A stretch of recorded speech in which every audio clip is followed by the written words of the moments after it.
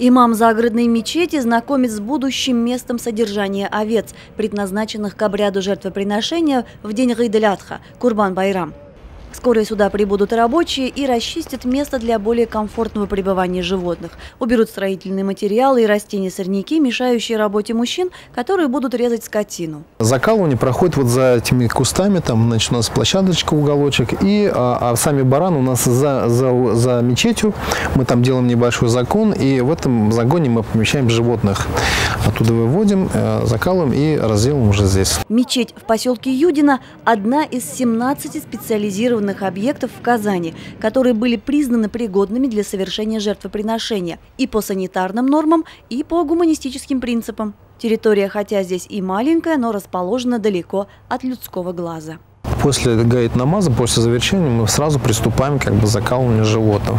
Мы закалываем, и часть уже э, значит, жертвованного мяса значит, мы уже готовим и организуем значит, э, стол для всех желающих. Во всех местах, где происходит забой жертвенных животных, Курбан-Байрам превращается в день щедрости и мусульмане Казани к нему готовятся тщательно. Чистота, она от веры. И, само собой, когда такой великий праздник, чтобы он тоже проходил на уровне чистоты, чтобы не видели процесс э, курбана, да, дети, не видели э, больные люди, чтобы это все происходило этически. В этом году, как и прошлый год, мы договариваемся с компанией Сария, которые все вот эти отходы вывозят. Мы ведем переговоры с администрацией, которая именно помогает нам после праздника все это убрать брать.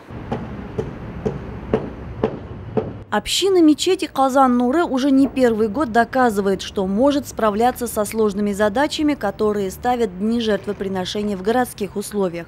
В этот Курбан-Байрам здесь планируют заклание около двух тысяч баранов разной породы.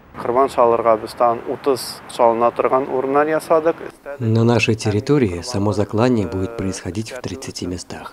Для снятия шкуры, изъятия внутренних органов отведено 94 места а 40 мест предназначено для разделывания мяса. Кроме этого, мы предоставляем возможность фермерам, частным лицам продавать животных. Для этого готовится 14 загонов и автостоянка. В отличие от поселковой мечети, Казан-Нуры находится в оживленном районе столицы. Она окружена городскими многоэтажками, из квартир которых можно наблюдать за праздничными мероприятиями и, возможно, даже слышать блеяние овец. Места для закланий мы огородили, чтобы люди не видели этот процесс. Даже сделаем ограждение между теми, кто производит забой, чтобы жертвенные животные не видели друг друга. Вот они зеленого цвета, на земле пока. Просим Всевышнего Аллаха, чтобы дал нам искренность в намерениях и помог достичь своего довольства. Курбан-Байрам в Татарстане официально объявлен праздничным днем, но в этот день городской транспорт на маршруты выйдет раньше обычного, чтобы вовремя доставить горожан на праздничные мероприятия, а казанские парковки будут работать бесплатно. Леся Разариф, Эдгар Шаги Ахметов, канал Алиф, Татарстан.